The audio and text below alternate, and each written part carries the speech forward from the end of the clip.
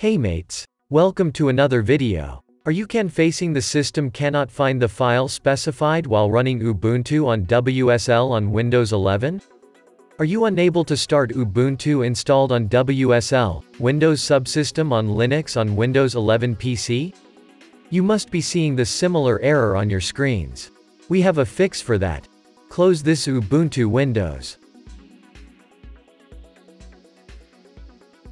Start Windows PowerShell with elevated privileges.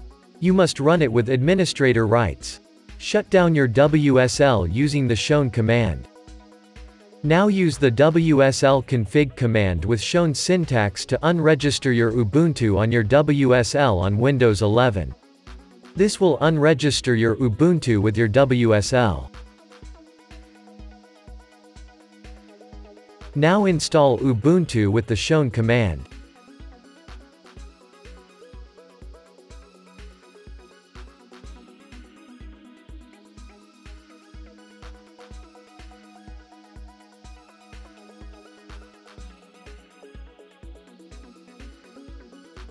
Ubuntu will be reinstalled again without any downloading and launch automatically.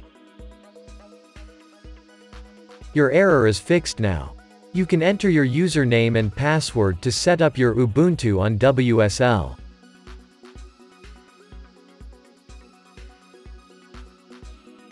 The error is resolved now. Did it fix yours too?